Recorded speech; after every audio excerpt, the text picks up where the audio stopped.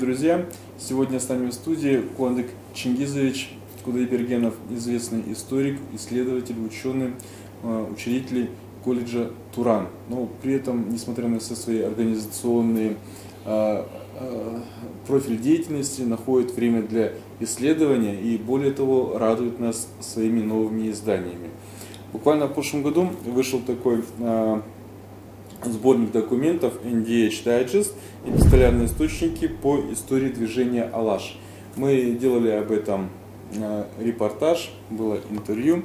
И вот в этом году э, Конрад Чингизович радует своих читателей вторым номером э, в этой серии, также посвященных движению Алаш. В сборнике включены новые, ранее не введенные еще в научный оборот документы. Расскажите, пожалуйста, об этом подробнее. Спасибо за приглашение. Э, прежде всего хотел э, сказать, что Казахстан буквально недавно отмечал столетие движения «Алаш», э, столетие создания вооруженных формирований. Вообще тема «Алаш» самого этнонима, она для казахов сакральна. В начале 20 века, буквально после первой русской революции 1905-1907 года э, на всей территории Российской империи, Казахстан тогда был частью этой огромной страны, э, произошли серьезные и знаковые изменения. Они коснулись того, что в Казахстане э, прежде всего произошло серьезное политическое пробуждение, и оно было связано с событиями, которые предшествовали выборам в Государственную Думу, впервые в истории э, Российской империи э, народы, которые находились в относительной зависимости сегодня, одни специалисты говорят, что это были колонии, э, одни специалисты считают, что все же это были, наверное, протекторатные. Я сам сторонник того, что Казахстан все же не был колонией. Это были протекторатные, зависимые территории. Другое дело, что мы сейчас не касаемся вопроса легитимности того, что произошло с казахской государством. Но именно после Первой русской революции э, появилась плеяда блестящих казахских интеллигентов, интеллектуалов, э, которые, мне кажется, продолжили лучшие традиции э, казахских интеллигентов XIX века в лице наверное, Абая Кнумбая, Валиханова, Ибраев Насарина, и многих других известных специалистов в своей отрасли. И э, движение «Алаш», которое зародилось э, после Первой русской революции, оно в 17 году э, приняло очень большое резонансное, статусное такое положение в казахском обществе, и я бы сказал, даже на территории Российской империи Алаш стал очень узнаваем, прежде всего благодаря тому, что была создана партия Алаш, и во главе ее стали э, известные деятели государства российского. Надо сказать, что и Алихан Букиханов, и Ахмед Байтурсунов, и Алимхан Ермеков, и Шспек Каймеутов, и Мавжан Жамабаев, и Жах Пахпаев, Раимжан Марсеков, мы можем продолжить эту плеяду. Это были известные государственные деятели, э, имели блестящее университетское образование, европейское образование. И эти люди стали во главу Э, партия Алаши во главе э, национального движения, которое ставило прежде всего вопросы сохранения э, самобытного этноса, самобытной культуры. И, естественно, Алаш ставил задачи государственные, политические, что, собственно, не могло устраивать в то время российские государственные органы, потому что Россия шла по пути стирания национальных граней. Э, задача была как можно быстрее лишить все национальные окраины каких-то национальных черт, признаков да. государственности. Большинство политических э, партий в тот период не рассматривали вопрос о создании автономии в составе российской э, государственности. Алаш рассматривал. Дело в том, что движение Алаш после Первой русской революции, когда оно еще не было оформлено политически, не было оформлено нормативно, но оно имело место, потому что началась активная э, публичная дискуссия проблем казахского общества, особенно через киргизскую областную газету, так называемую «Дала Велател» или «Казах», которая издавалась одно время в городе Омске. Это территория в то время была, собственно говоря, одним из административных центров Казахстана. И публично даже рассматривались такие вопросы, как орошать луга, как сеять пшеницу, как в нынешней ситуации, когда э, есть огромное количество казачьих кордонов на территории Казахстана, которые сужали вопросы э, экономической миграции для кочевых племен. И в такой ситуации как выживать? Э, то есть стояла задача трансформации, э, преодоления кризисных явлений. То есть казахское общество должно было, по сути, являясь традиционным, как-то самосохраниться и взять э, все лучшее, наверное. В общем-то, лидеры Алаш того времени, они переживали, и они, в принципе, видели, что это возможно только если иметь хоть какое-то политическое формирование. Целиком и полностью говорить, что они стояли э, на пути там, создания отдельного государства, не стоит, потому что э, они были все под жандармским контором, э, был четкий шпионаж со стороны российской жандармерии. Многие были осуждены, даже в ссылку, даже студенты э, были исключены. Тот же Райбжан Марсек, Жак Папаев, они пострадали от политических репрессий. Собственно говоря, это были люди вольнотунцы. Но э, в России шла уже э, волна демократии, это несмотря на то, что Россия оставалась самодержавной страной, монархической. И это было не только присущее для Казахстана, но и для всей огромной территории России. Поэтому это были неизбежные центробежные движения, потому что Россия оставалась самым крупным государством в мире, и с ней не могли не считаться, но с другой стороны она была одним из самых отсталых стран в мире. Поэтому внутри самой России э, политическая элита, она понимала, и как раз в это время приходит мощная партия кадетов – это либералы, э, люди, которые в принципе были противниками угу. самодержавной власти. И многие деятели Алаш, они вышли из кадетской партии. Да, интеллектуальная элита да. того времени. Угу. Хорошо. А чему посвящен вот второй сборник документов? Э, второй сборник документов, он посвящен прежде всего э, событиям, связанным с с первым э, общесибирским съездом, который состоялся в октябре 1917 э, года. Дело в том, что когда мы даем характеристику истории Казахстана, истории бывшей Российской империи с момента февральской буржуазной революции 17 года до октябрьской, ноябрьской революции, да, в зависимости от смены календаря, Э, есть такой термин, э, он такой простой, двоевластие. Но это двоевластие заключалось в том, что была борьба двух направлений, большевиков и меньшевиков, так условно называемых. Большевиками называли все политические силы, э, которые были за революционные изменения. Меньшевиками называли те политические силы, которые стояли за сохранение монархии и за скажем так, эволюционное развитие монархии, которая в последующем должна была плавно перейти там, э, по пути буржуазного республиканского развития. И как раз э, в октябре объединенные силы э, Сибири, туда пришли делегаты из Казахстана и Средней Азии, стоял вопрос, как создавать и развивать дальше российскую государственность, потому что до и власти закончилось тем, что на территории Российской бывшей российской уже империи, которая де-факто в феврале развалилась как монархия, но как буржуазное государство оно не оформилось э, по своему нормативному уровню, статусно правового оформления не произошло. Все ожидали создания и созыва учредительного собрания. Это главный орган, э, так называемый, который должен был определить судьбу Российской империи, включая судьбу всех народов, которые находились в разном статусе. Который так и не состоялся. Он, который, да, не состоялся. Но здесь есть масса проблем, потому что э, российский политический бомонд э, ощущал давление фронта, продолжалась Первая мировая война, э, не без успеха, но шла война на фронте с Германией в то время. Более того, Россия в 17 году ощутила всю проблему нехватки продовольствия, экономических проблем, боеприпасов. И более того, все эти революционные движения они привели к брожению, братанию солдат. И, собственно говоря, была определенная децентрализация власти, которой неминуемо воспользовались, конечно, наиболее радикальные слои. И боясь чрезмерной радикализации и, собственно говоря, развала э, страны. Этого боялись, кстати, и лидеры Алаш, потому что они ратовали за создание единого государства, и что Алаш будет в их составе, скажем так, автономным государством.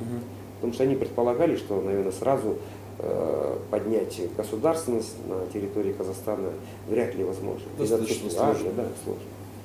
И второй сборник как раз посвящен э, эпистолярным источникам из Томского государственного архива, э, где обсуждаются насущные проблемы. Но э, сборник очень интересен в каком плане. Во-первых, введен в научный оборот несколько документов, список полностью всех делегатов. Впервые приводятся выступления известных лидеров Алаш Алимхана Ермекова, первого профессора математики, Раимжана Марсекова, одного из ведущих юристов, э, с отличием, кстати, закончил Санкт-Петербургский университет. Э, неизвестное выступление э, лидера Алаш Алихана Букиханова, собственно говоря, это сенсационный сборник, по сути. Есть ряд документов, которые до этого были изданы, но основная часть документов, они не изданы. И задача этого сборника еще раз раскрыть проблему Алаш, каким образом строилось государство, каков был статус э, движения Алаш, государство Алаш еще не было создано, создается потом уже в декабре месяце 2017 года окончательно юридически оформляется.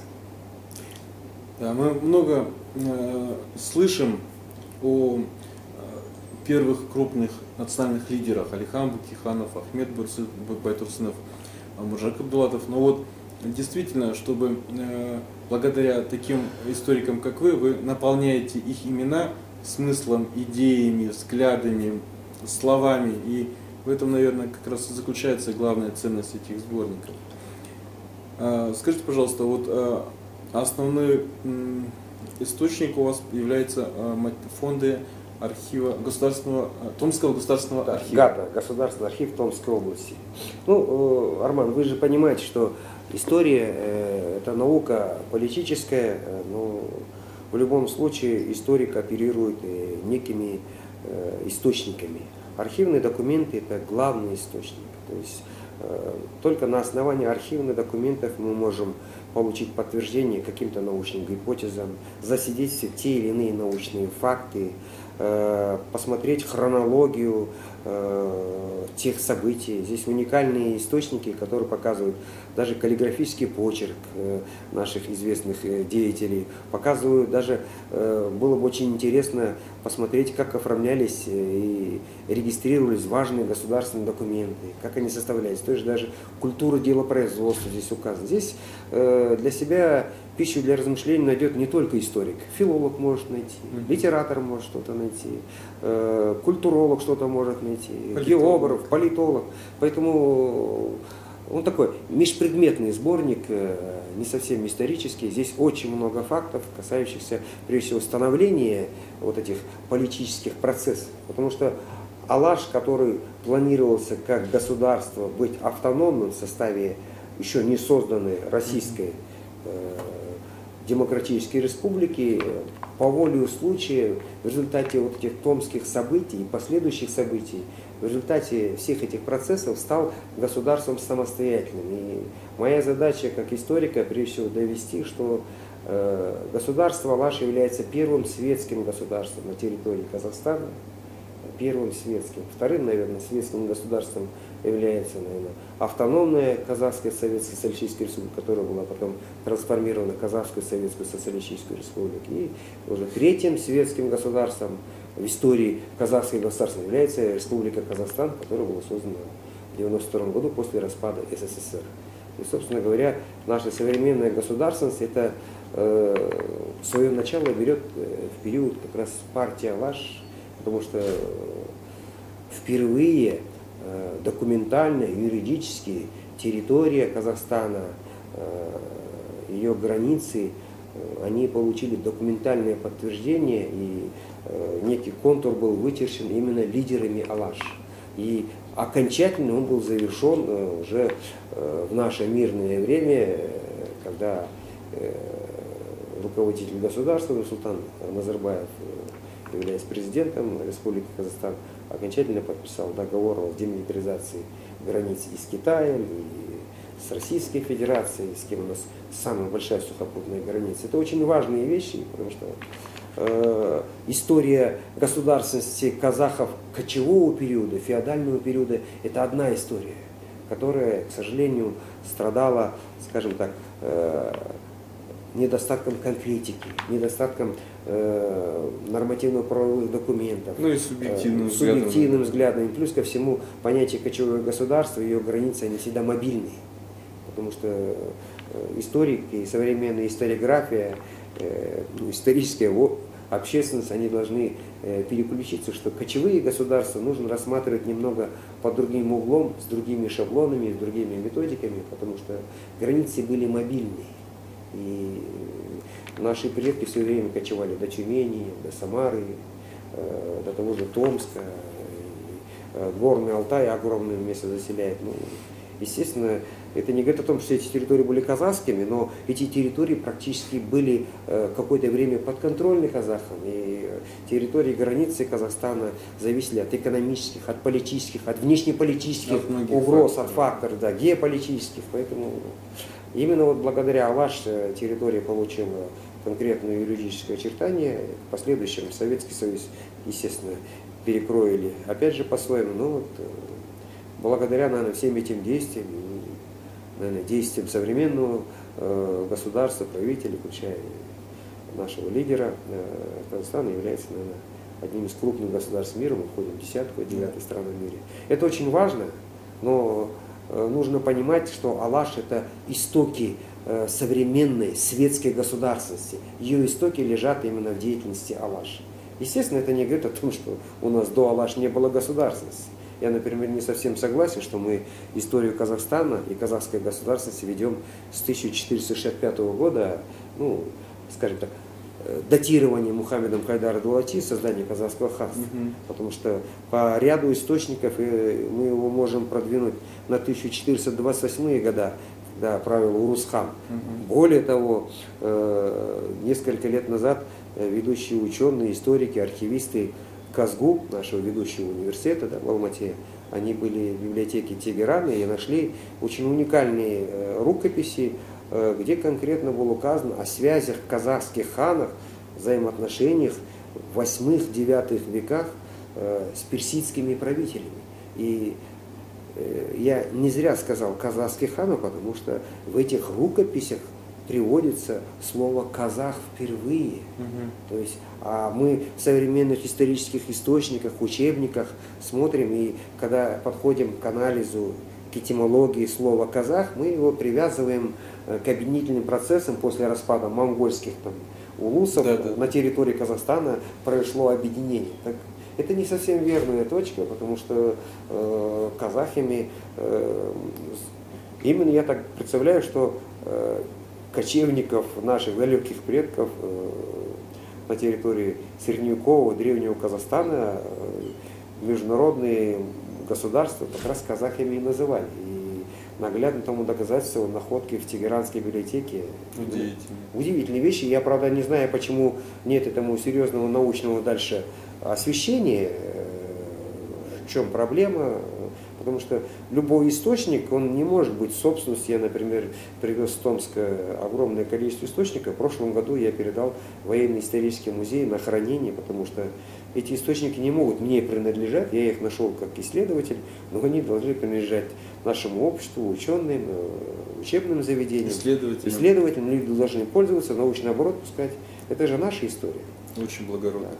Да. да. И э, вы говорили, что это, на этом как бы серия не заканчивается. Мы ждем от вас продолжения третьей части. Когда вы планируете ее? Вообще запланировано э, пять сборников «Эпистолярный источник по истории движения Алаш».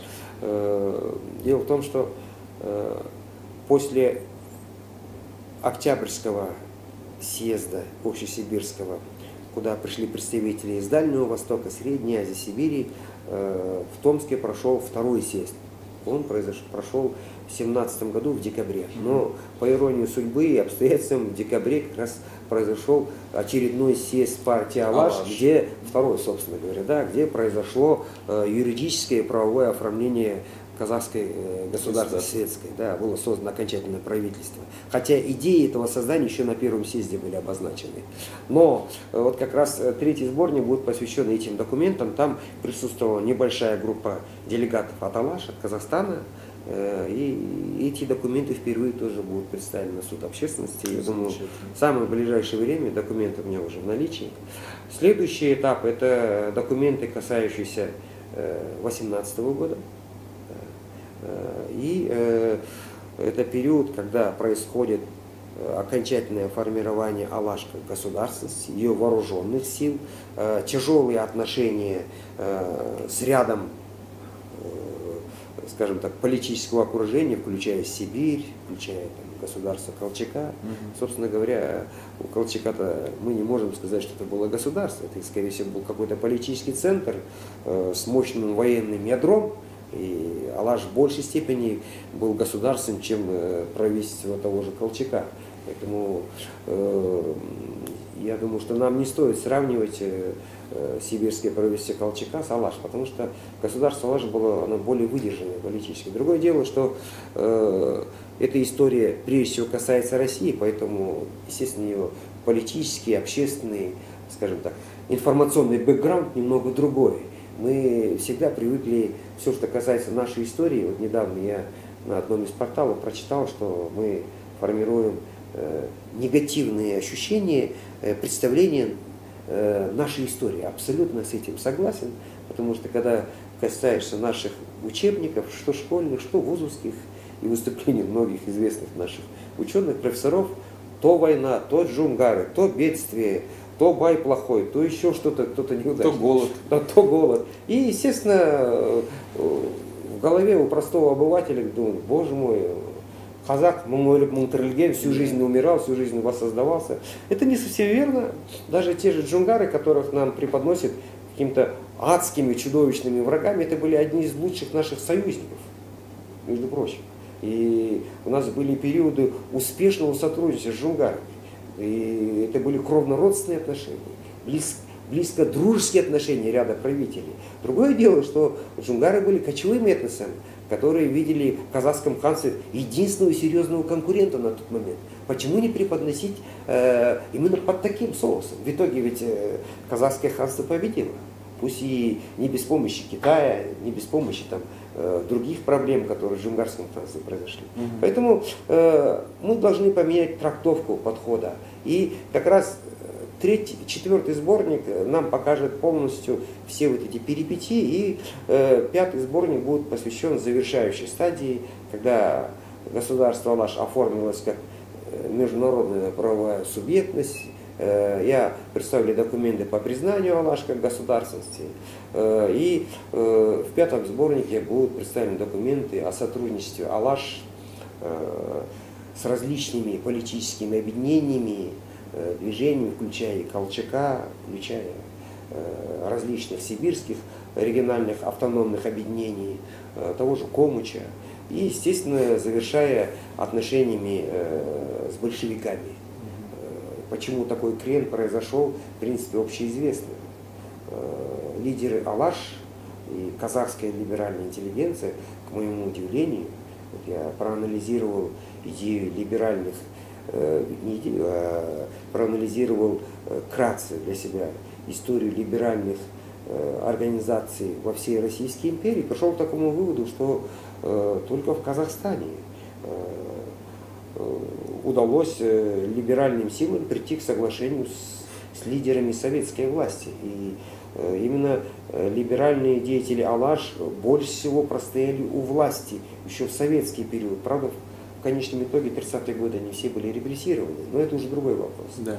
И э, как раз э, в пятом сборнике, я думаю, удастся представить. Но для этого нужно хорошо проработать с архивами Уфы, с архивами Оренбурга.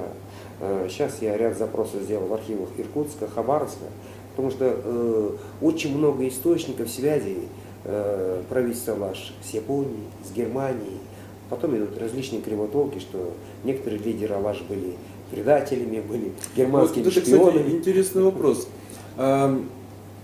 В период распада Российской империи, создания национальных государств, как, допустим, э, республики в Азербайджане, в Грузии, в прибалтийских республиках, э, они не только объявили о своей независимости, но они получили и международное признание, в том числе и э, на Версальско-Вашингтонской системе, на Парижской конференции. Абсолютно. Вот. А о признании Алаш, вот, э, об этом как-то не говорят наши ученые. Были ли какие-то э, попытки или, допустим, факты такого признания? Ведь, насколько известно, э, и лидеры Алаш, наверное, взаимодействовали и с представителями иностранных миссий, которые были э, в том же э, при Временном Сибирском правительстве у Колчака.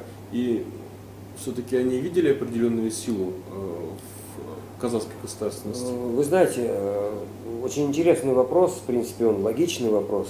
Я абсолютно убежден, например, в первом сборнике я привяжу письмо э, представителя э, Генерального консульства Соединенных Штатов Америки, э, где он пишет всем делегатам данного съезда, что Соединенные Штаты Америки не вмешиваются в свободные волеизъявления представителей Сибири и других регионов, включая Казахстан, и поддерживают любую деятельность по самостоятельному развитию. Я думаю, что аналогичные письма и подтверждение признания международной правосубъектности, я абсолютно убежден, что получал и Алаш. Другое дело, почему они нам недоступны. Здесь нужно понимать следующее.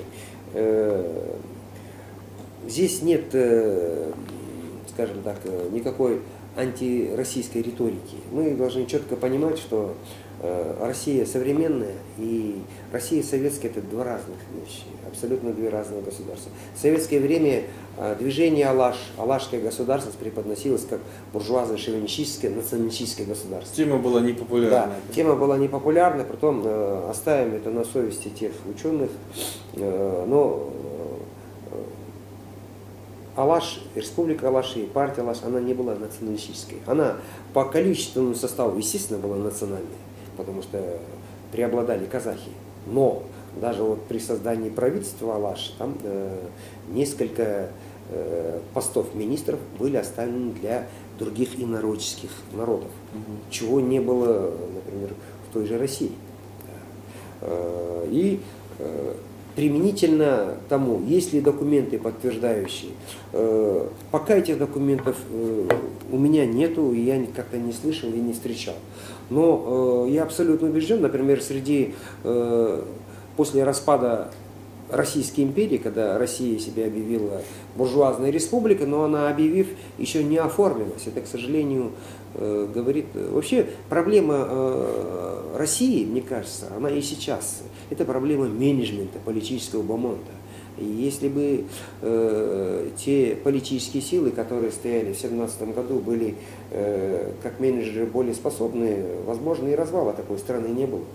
Э, возможно, и так, э, может быть, этот развал просто был бы чуть позже и в другом качестве. Я здесь не могу уже что-то говорить. Но э, я что хотел сказать.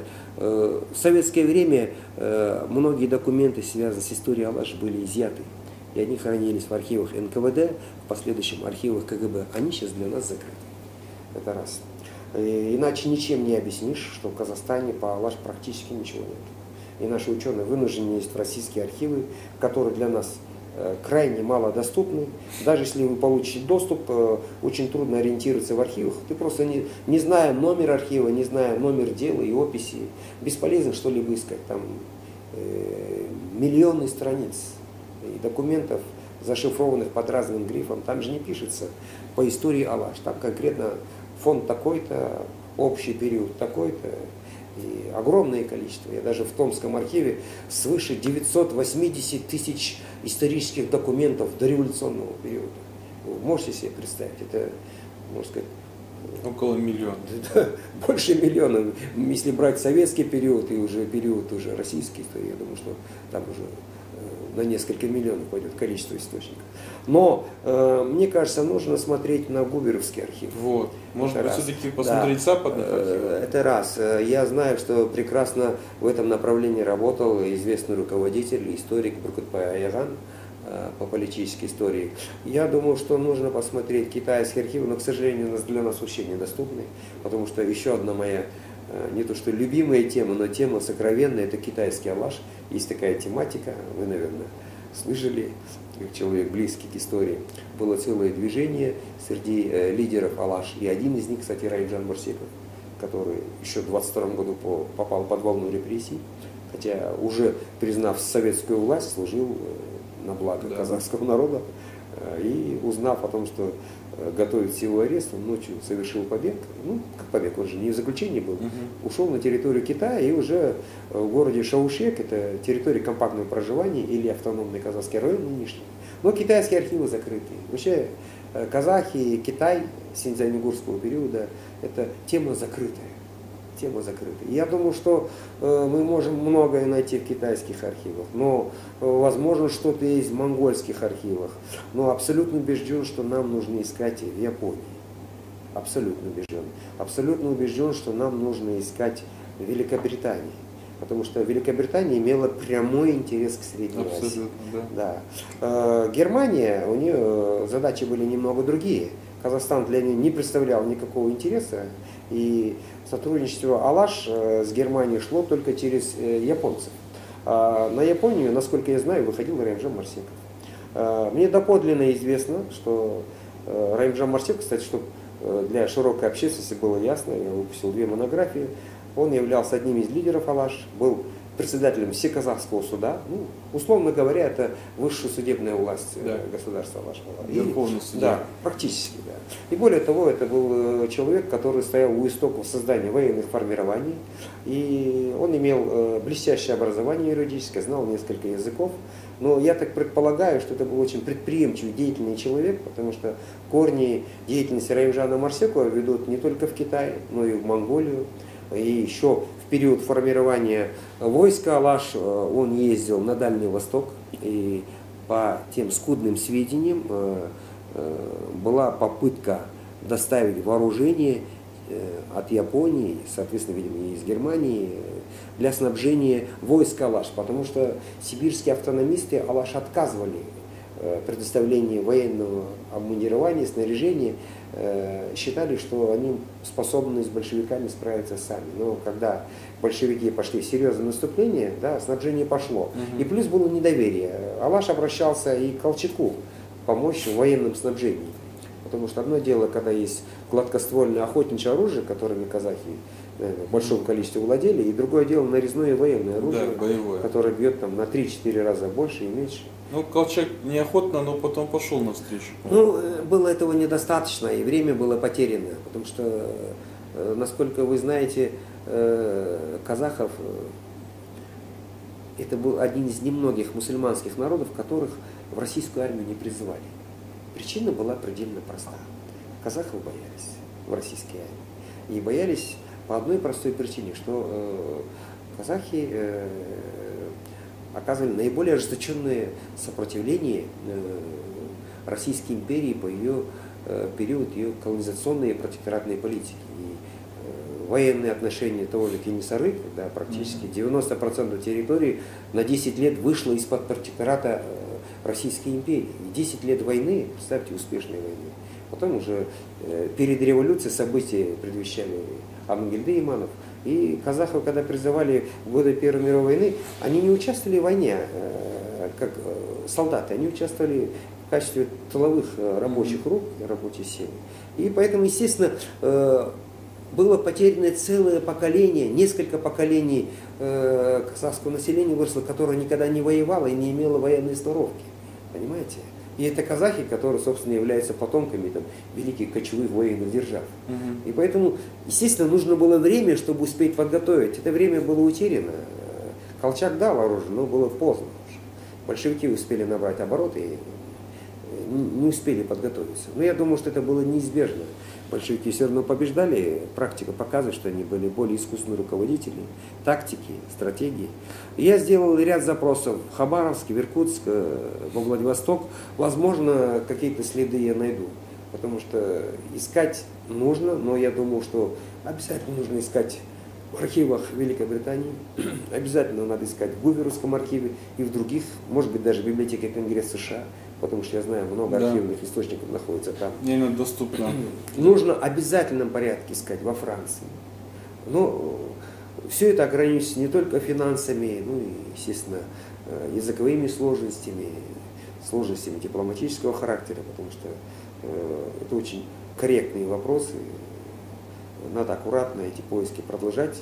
Да то в том же Иране нужно искать, э, если это пошло. Турецкие архивы. Турецкие, абсолютно верно. Я думаю, что там даже поиски идут.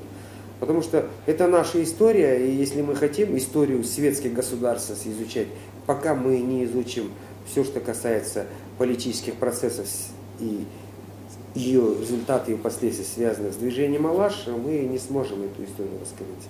Потому что впервые было написано история светской государственности именно деятелями Алаш.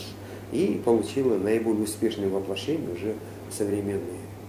Алаш – это продолжение нашей современной республики Казахстан. Все. Спасибо вам большое. Будем надеяться, что э, поиски, научные поиски дадут долгожданный результат. Рахмет вам, Арман. И э, вашему коллективу, цифровому порталу истории Казахстана, вашему акционерному обществу Казконтент благополучия, успеха, потому что очень креативный, э, очень живой, информативный портал. И мы с удовольствием всей семьей смотрим и ваш сайт, и следим за информацией. Потому что популяризация истории народа э, имеет очень большое политическое и культурологическое значение. Большое спасибо. С вами был Куанык Чингизович Кудайбергенов. Спасибо большое. До свидания.